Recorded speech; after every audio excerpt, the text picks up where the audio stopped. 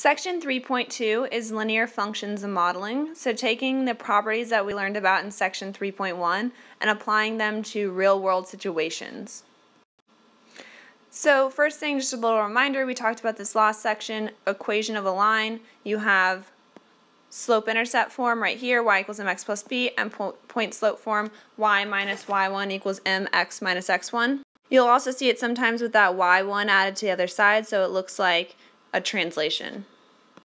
So here we're looking at models. We have scatter plot. So a scatter plot is a plot that has a bunch of data points without any line connecting them. And we want to look, okay, is this going to be well represented with a linear model or a nonlinear model?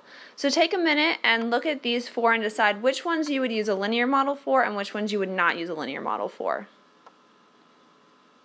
So most likely you would use a linear model for these first two. They look pretty linear. This one definitely does not look linear at all. It actually looks very quadratic probably. This one again does not look linear at all. It looks maybe logarithmic or um, rational or exponential, something along those lines. But these two definitely, this one's increasing and then this one's decreasing, but they're both linear.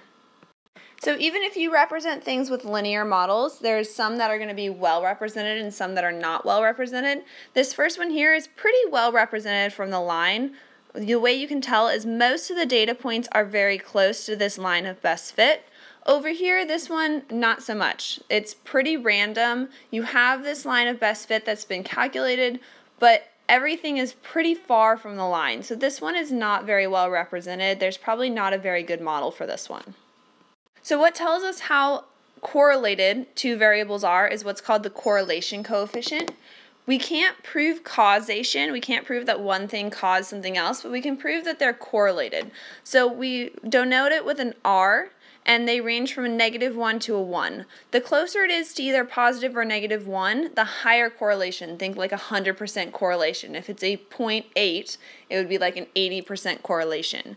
The closer it is to 0, the lo lower the correlation. So think again like a 0% correlation. If you get a 0.2, that would be like a 20, uh, 20% correlation, not very good. Negative correlation, so if you get something that's between 0 and negative 1, that just means it has a negative slope. As one increases, the other one decreases. Positive correlation means you have a positive slope. As one increases, the other one also increases. So if you have something that has a pretty good correlation coefficient, we can then use that model to extrapolate data. So the way that we, or extrapolation means predicting the future. So if you're given a certain amount of data, predicting, you know, what's going to happen 10 years from now if the trend continues. The better the correlation, obviously, the better the prediction. In this class, most of the way we're going to find all of this is via your graphing calculator, either Desmos or your actual TI graphing calculator. It will give you your your correlation coefficient and will give you your model that you could then extrapolate from.